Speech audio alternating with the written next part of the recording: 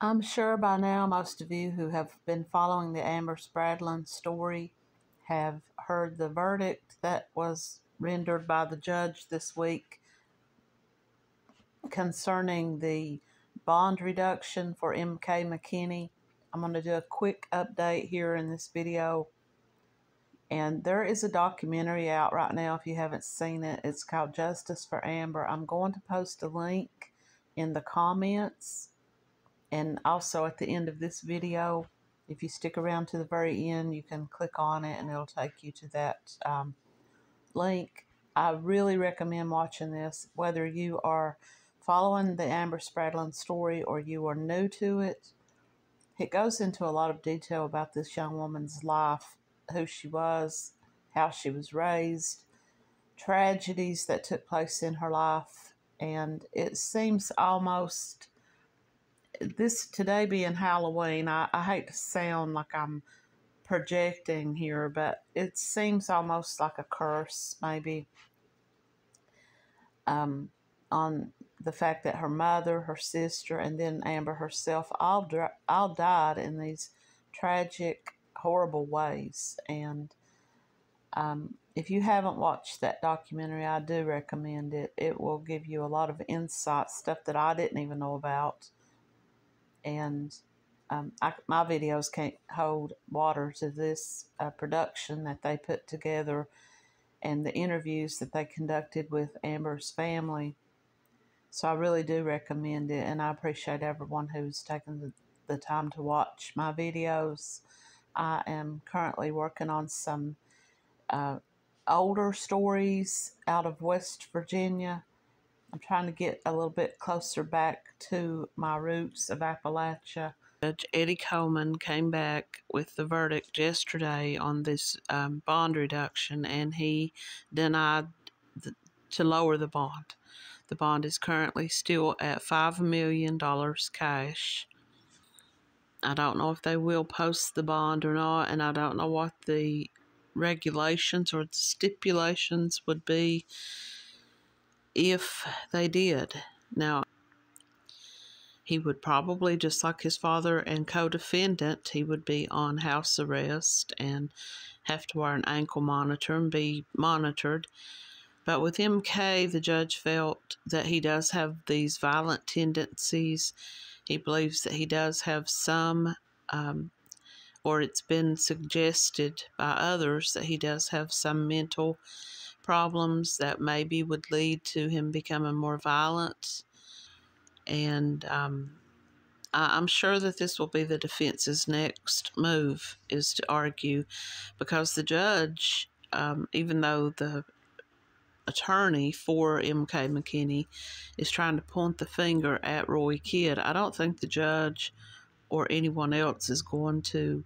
Uh, go that route. I don't think that they are going to pursue any kind of charges against Roy. I could be wrong. If you are not from this area and you've been listening to my videos, or anyone else's for that matter, about Amber, and you want to learn more about her, this documentary really goes into a lot of detail about her life as a child.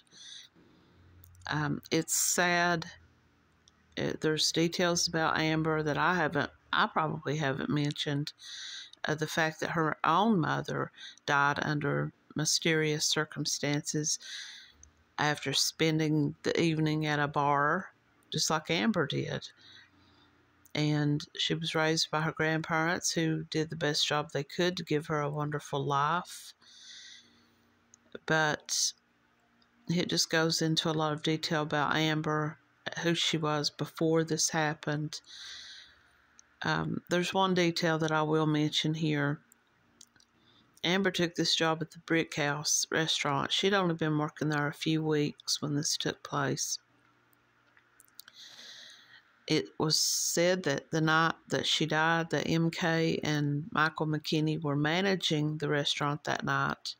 Which, when I say restaurant, let me just say this is also a bar and a lot of people do go there to listen to music and drink.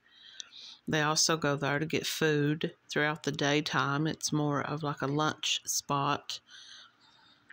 but she'd only been working there a few weeks, and I don't know if this was the first time that she had met or encountered M.K. McKinney, or if he had, you know, spoken with her on other occasions in the few weeks that she had been working there.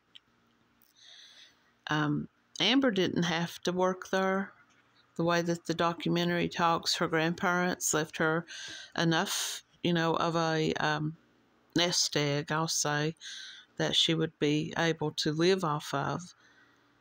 Um, she could have started her own little home business of some kind, but she wanted to get out in the public. She wanted to be around people. In the documentary, she her aunt says that she tells her the reason she took the job was because she was just bored at home all the time and it was just her and her cats. She wanted to get out and be around other people. And it's just, uh, it's very sad that she chose these people, or maybe they chose her, I don't know, but that she ended up, her one time of really being out and about on her own um, independently and this is what happens to her. Like I said, I will post a link to that documentary, and I do highly recommend it. The moderator of that, Brandis Bradley, um, she did a great job um, in this documentary. And she has a lot of videos, and I think maybe on TikTok about Amber this whole community of Floyd County, Prestonsburg, Martin, Kentucky, all that area down, they have um, all come together for Amber. Now, like I said, there are still supporters of the McKinneys, and um, people look at them. Keep in mind, some of them may not have seen any signs of MK being that way. They may not have seen any violence, violent tendencies. They may not have heard those stories. And maybe they do believe that Roy Kidd committed this murder because this is what the McKinneys are telling people. But I just wanted to come back and give this little update on that. And I'm going to move on now to some other stories that I've been working on. And I appreciate everyone's time.